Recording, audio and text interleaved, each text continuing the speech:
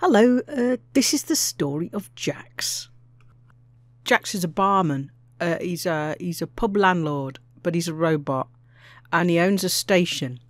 And he used to travel round the bubble, uh, and you'd find it various places. And the good thing about Jaques is he sells a special rare um, spirit, Jaques Quinentian Still, and you can make money with rare goods by travelling over about 150, 160 light years from where you bought them and uh, selling them. I, I used to do loads of this when I started. I used to buy something rare, and you can tell it's rare because in the commodities market, it's in yellow and not orange on my on my HUD. I've not done any weird stuff to my HUD to make it fluorescent green or anything. I uh, so I used to buy a load of this stuff and take it some distance away, and there was loads of people used to do it. it used to be a really good earner. It's not now. There's, it's it's it's a really poor earner now. They're still pretty much worth what they always were. I love rares. They're so unique and unusual, and they were a leftover from the original game as well. So they were sort of had a, a warm place in my heart.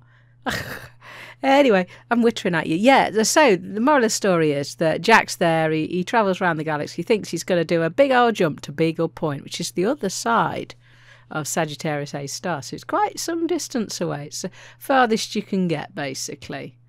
And uh, he soups up his hyperspace drive and he bolts some extra engines on all that malarkey. And uh, off he goes, and no one hears anything of him. And it all goes wrong and then we think he's exploded somewhere. And then a while later, someone posts says, "Oh look, look, I found him. I found Jaques Station. It's up on the left of Sagittarius A, in a system called Eol Prou RS-T." D3 94 trips off the tongue. Anyway, there he is and basically, there's nothing out there. It's, there may be, who knows. But as far as your ship's controls are aware, looking in the navigational map and, and filtering it for population, there's nothing out there. And then this commander found a blip. And obviously, this blip was the people on board Jaques space station. And there it was, Commander Cly, I think. Anyway, so there was a hullabaloo and lots of people got really excited and lots of people went out there and then they wanted to do all sorts like repairing it because it had been broken. And then there was all sorts of community goals where everyone gathers together and everyone takes a bunch of stuff. And i got involved in one of these. I decided right that's it. I'm going to soup up a ship. And uh, I, I souped it up and i put all the relevant things on. I got my my jump range over 20 and I, I thought right i was I still am, but I was really, really rubbish at the game.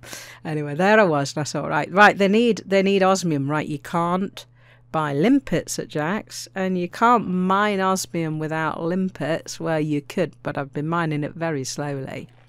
So um, I take all my limpets so that I can do the mining, and I equip my mining vessel, my trusty T6, and off I go very, very slowly. Beautiful sights, wonderful discoveries, glorious sights, and, and travelling across. And, and I realised that this jump range, with a hold full of limpets, is, is painful.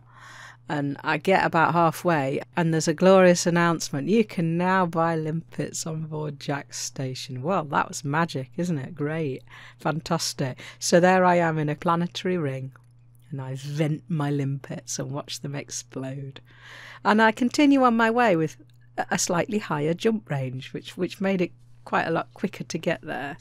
And uh, and I made several thousand credits of explorations, especially with the additional bonuses. Our oh, exploration money was terrible back then. You got 20 pence for finding an Earth like or something awful like that. Anyway, get to Colonia, mine a bit of osmium, take part in the CG, feel very proud of myself, and uh, consider myself part of elite history, getting Jaques station back up and running. And it really has made its mark, Jaques. There's a whole set of systems around it with names. They've renamed all of those long coded systems with real kind of emotive names. And there's people that just live their whole time in the game out there in Colonia doing their thing, far from the Thargoids and far from the politics.